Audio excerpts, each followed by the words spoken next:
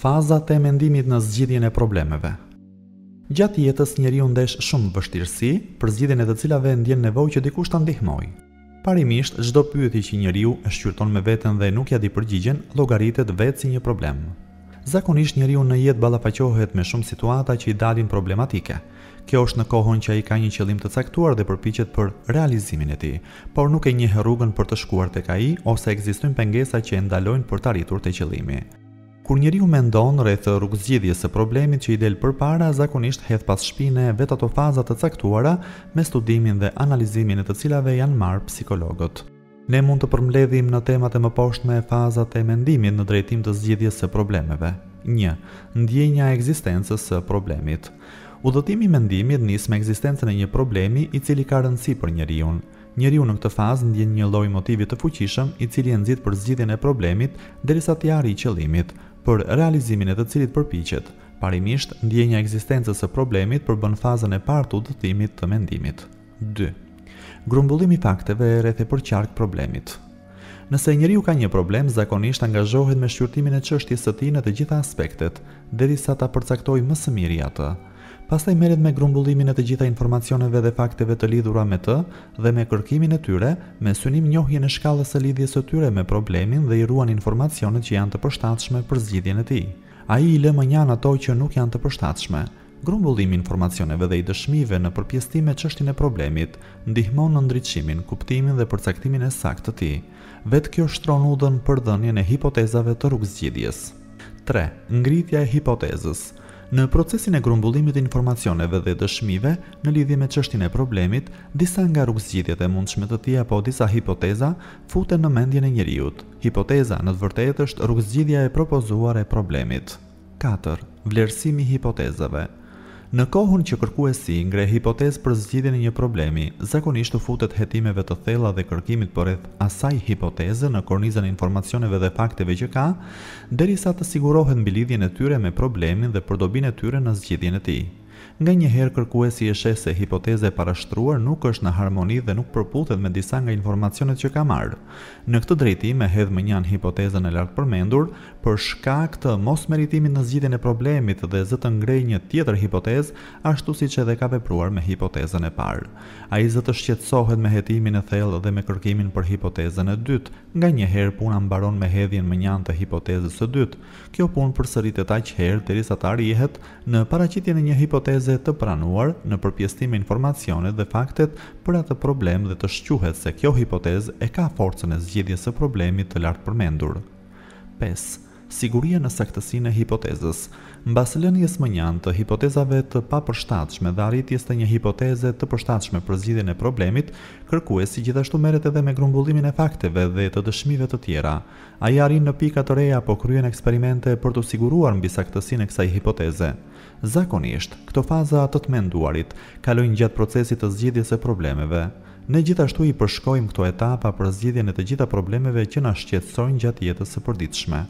Po ashtu shkencëtarët që merren me kryerjen e eksperimenteve shkencore nëpër laboratorët e tyre I përshkojnë këto faza, me dallimin e vetëm se ata përdorin mjetet që kanë lidhje me çështjen dhe duan më shumë vëmendje, kontroll në kryerjen e kërkimeve dhe në grumbullimin e fakteve, në regjistrimin dhe në analizimin e tyre. Kurani na paraqet shembuj për fazat e përshkrimit të të menduarit në procesin e zgjidhjes së problemeve. Këto shembuj i gjejmë në tregimin e Ibrahimit, paqja e Allahut qoftë mbi të, dhe metodës që ai zgjodhi, në përshkrimin e të menduarit për njohjen e të Madhit Zot, të Plotfuqishmit, Gjithëkrijuesit.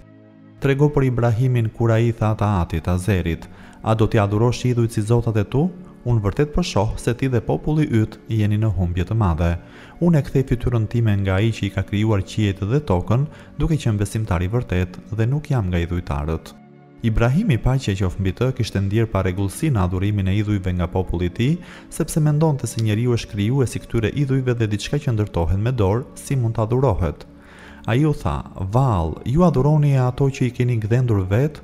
Nga ana tjetër, këta idhuj nuk kanë asnjë fuqi dhe mundësi, pra nuk ka se si të përshkruhen me cilësi hyjnore. Zoti është i fuqishëm dhe ka mundësi.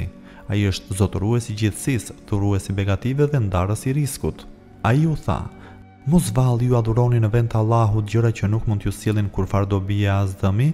Mjerë ju dhe mjerë ata që ju i adhuroni në vend të Allahut, a nuk arsyetoni?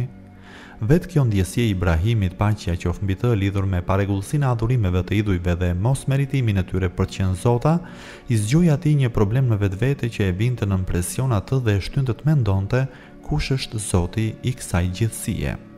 Njëkohësisht me praninë e këtij problemi Ibrahimi, paqja qoftë mbi të, ndien një lloj motivi të fortë te vetja e tij, që të arrijë njohjen e Krijuesit të gjithësisë, ky motiv e nxiti atë për të menduar për këtë problem. Sigurisht që shkaktimin e këtij motivi, përveç udhëzimit dhe suksesit të dhënë prej Zotit, e ndihmoi dhe natyra e tij e lindur, e shëndoshë, shpirti i pastër dhe arsyeja. Pastaj Ibrahimi, paqja qoftë mbi të, arriti në fazën e soditjes dhe të grumbullimit të informacioneve dhe të fakteve.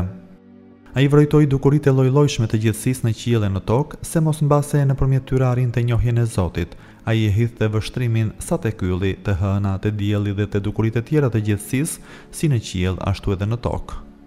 Këtë çështje mund ta kuptosh nga ky ajet, Dhe kështu, Ne ia treguam Ibrahimit mbretërinë e qiejve dhe të tokës, që ai të bëhej nga ata që besojnë vendosmërisht. Në procesin e vrojtimit dhe të grumbullimit të informacioneve rreth dukurive të ndryshme të gjithësisë, Hazreti Ibrahim, paqja qoftë mbi të, ngriti hipoteza në mendjen e tij. Për shembull, në kohën që errësira e natës përfshin gjithçka dhe ai pa një yll që po ndriçonte në qiellin e errët, ngriti një hipotezë, rezultati i së cilës ishte besimi në të qenit e yllit zot.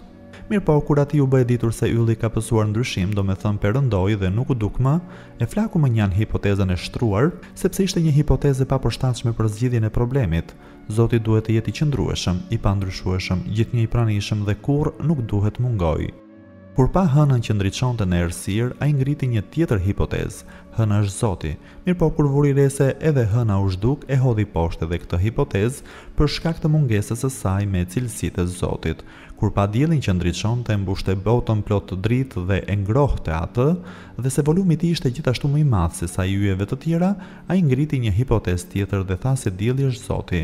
Mirëpo kur vuri re se edhe ai perëndoi, po ashtu e hodhi poshtë hipotezën për shkak të mungesës së cilësive të Zotit. Pasi Ibrahimi i hodhi poshtë të gjitha këto hipoteza, si pasojë e mangësive në zgjidhjen e problemit, më në fund ngriti një hipotezë që e bëri të besojë atë në Zot.